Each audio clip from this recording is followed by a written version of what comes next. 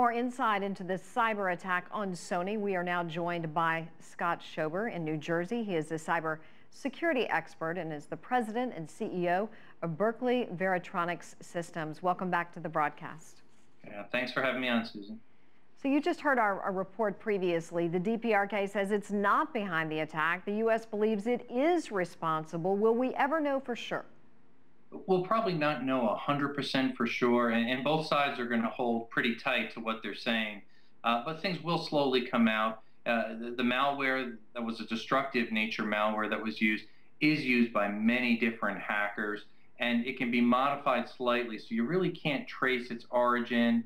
And, and that's going to be very difficult for somebody to say conclusively, even cybersecurity experts to conclusively say this is where it originated. So it can be challenging. Now, that being said, the, the internet traffic is really routed through China uh, between the servers and, and all the different connections for the network. So eh, China comes into play to some degree with this. And uh, so when things are taken down, such as when North Korea's uh, uh, uh communications went down on the network, it could be seen some degree through China. So there's some, certainly some concern there because China and North Korea there are allies.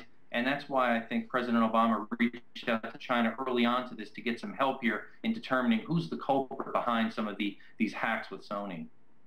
What can other companies out there do to ensure that this doesn't happen to them, that it's not a repeat?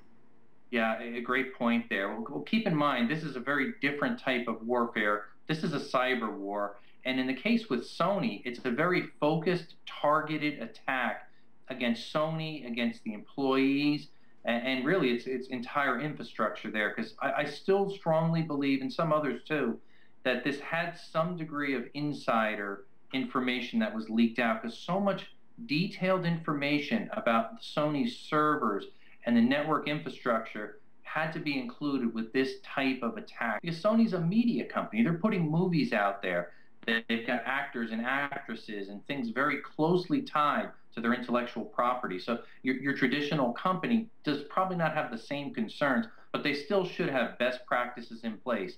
Keeping confidential information confidential, not putting too much out there, certainly we see Sony did, and, and using best practices with passwords and security on their servers.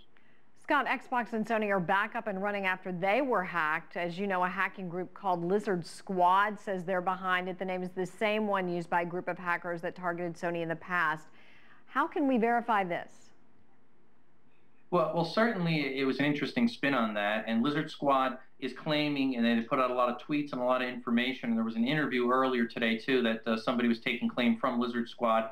Hard, hard to verify 100%, but looking at past hacks, and they have hacked PlayStation in the past, it seems very closely tied in there. So pretty good chance it was Lizard Squad, and, and they were kind of bribed to, to stop doing this, and it looks like that was somewhat successful because now people are back online after about 48 hours of interruption. And it was interesting. It wasn't just PlayStation, but it was also the uh, the Xbox, Microsoft's product that was targeted as well for uh, probably 100 to 150 million online users affected. So tremendous message that was sent across there. And it was really, again, for bragging rights. That's what they were trying to do there. Certainly very humiliating for those companies at this Christmas time. Thank Definitely. you so much, Scott Schober, joining us from New Jersey. As always, wonderful to see you. We appreciate your time. Great. Hey, thanks for having me on again.